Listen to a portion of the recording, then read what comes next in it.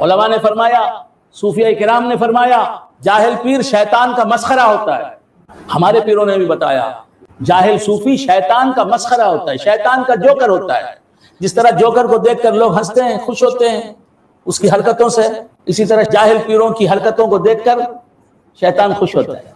हमारी खानखा से वो इल्म पेश किया जाता है कि जिस इल्म की रोशनी में मालूम होता है कि झूठा कौन है, सच्चा कौन है। पीर कामिल कौन है? और पीरों का नाम बदनाम करने वाला कौन है? अल्लाह के ज़िक्र में आने वाले लोगों को मालूम होता है कि शरीयत क्या है? शरीयत की अहमियत क्या है? हक रसी की बुनियाद शरीयत। जन्नत में ले जाने के कामों की रूह शरीयत है। खुदा को राज़ी करना है तो एक ही रास्ता है। वो है शरीयत की पाबंदी। खुदा का तखरुब हासिल करना है तो एक ही रास्ता है, दूसरा कोई रास्ता नहीं। सब दरवाजे बंद हैं, एक ही दरवाज़ा खुला है वो है शरीयत मुस्तफिया कोई दरवाज़ा नहीं। अल्लाह के मंजूर नज़र बनना है, अल्लाह के महबूबीन में शामिल होना है तो एक ही रास्ता है, एक ही रास्ता है, दूसरा कोई रास्ता नहीं। वो क्या? अकायद इस्लामिया सीखो।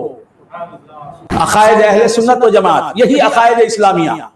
सीखो, उन पर यकीन करो, उनकी तस्दीक करो, और फिर अहकाम शराब पर अमल करो, नमाज़ और रोज़े की पाबंदी करो, जक़ात और हज को अपनाओ, सुन्नतों की पैरवी करो, दाढ़ी मूंदते रहोगे, नमाजें तर्क करते रहोगे, झूठ बोलते रहोगे, गीबतें करते रहोगे, अमली मुनाफिकत में मुबतला रहोगे, हसद में मुबतला रहोगे किब्र में मुबतला रहोगे, लोगों की अमानतों में खियानत करोगे, गंदी सियासत अपनाओगे, कभी तुम मंजिल तक पहुँच नहीं सकते।